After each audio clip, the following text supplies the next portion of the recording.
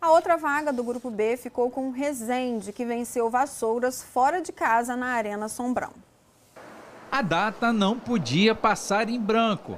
A arquibancada estava cheia de mamães, inclusive a dona Maria da Conceição, que veio ver o filho Serginho de Vassoura jogar. Hoje o coração tá batendo em dobro, né?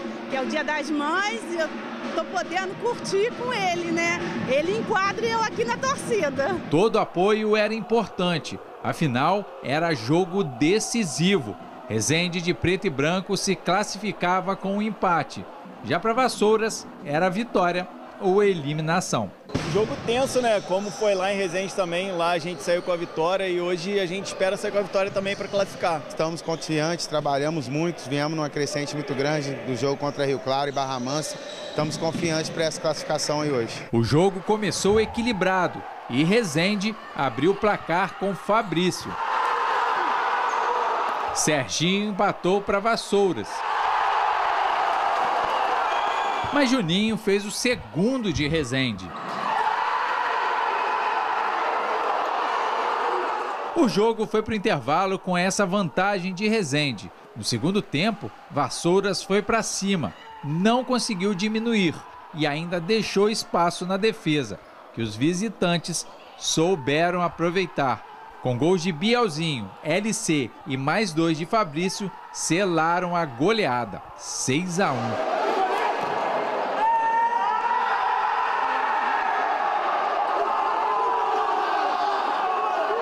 Com a vitória, Resende garante o terceiro lugar do Grupo B, se classifica para a próxima fase e segue em busca do título inédito.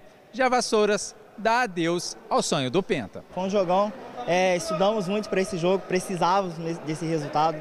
É, sabíamos da, da, pressão, mas mais para o lado deles.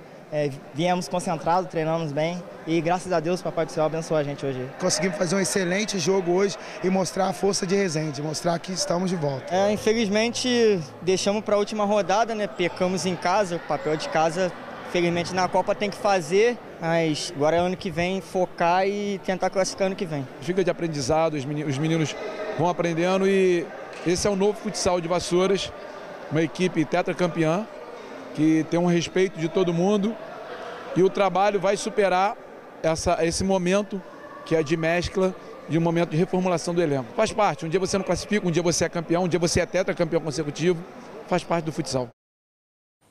Você viu que os jogadores promoveram um belo espetáculo nesse jogo, mas parte da torcida de Vassouras deu péssimos exemplos com desrespeito e até vandalismo.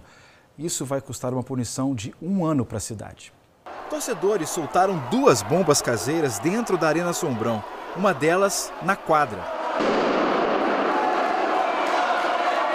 Nas imagens, é possível ver mulheres e crianças se afastando do local. Durante o jogo, um torcedor tentou agredir um atleta de Resende. Foi contido pela tela e por outros torcedores. Uma outra bomba foi lançada dentro da van que transportava o time de Resende. O explosivo danificou um casaco e um dos bancos do veículo. Tudo isso consta no relatório da arbitragem, que cita ainda que torcedores atiraram papel picado sobre o árbitro auxiliar e cuspiram no goleiro Plínio de Resende. E foi o primeiro jogo com torcida de vassouras na arquibancada depois de dois jogos de suspensão com portões fechados, também motivada por mau comportamento de torcedores.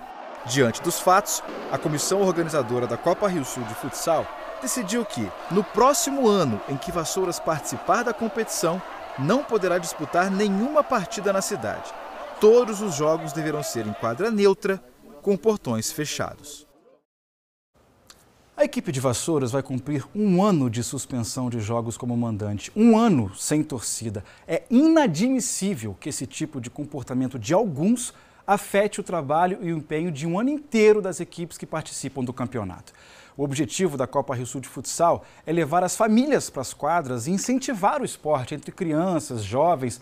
A gente quer destacar que as equipes, os jogadores e os verdadeiros torcedores de toda a região têm dado bons exemplos com comportamento impecável. Cenas como as de ontem são promovidas por alguns baderneiros que não representam as cidades e devem ser banidos das quadras. As torcidas organizadas podem e devem se comprometer com a disciplina e a festa do esporte, excluindo de vez pessoas mal intencionadas que só prejudicam as equipes. A Copa Rio Sul de Futsal segue revelando talentos e levando alegria à nossa população. Bom, vamos Diego, agora vamos ver a classificação. Você começou agora falando, sim. agora a gente vai conseguir Arrumamos ver. tudo, vamos lá rapidinho. Grupo A terminou assim, Piraí, Patidoféres e Volta Redonda classificados, Piraí já direto nas quartas de final. Grupo B, Rio Claro, Barra Mansa e Resende. Rio Claro já garantida direto nas quartas de final. Barra Mansa e Resende vão disputar as chamadas oitavas. Grupo C, Três Rios, Paulo de Fronten e Angra dos Reis. Três Rios já classificado para as quartas. E no grupo D, como a gente trouxe agora por último nas reportagens, Mendes, Porto Real e Barra do Piraí. E Sol, agora eu te pergunto, como é que vão ficar os jogos agora nessa próxima fase? As partidas serão definidas por sorteio, que vai ser realizado daqui a pouquinho, às três da tarde, com transmissão ao vivo com imagens do ge.globo barra TV Rio Sul. Comigo e com Vinícius Lima, inclusive. E no GE, você sabe, tem tudo sobre a Copa Rio Sul de Futsal, inclusive uma reportagem explicando como serão as próximas fases, como o aproveitamento das equipes pode fazer a diferença daqui para frente e quais os critérios para definir quem terá vantagem nas partidas eliminatórias. Acesse e confira ge.globo barra TV Rio Sul.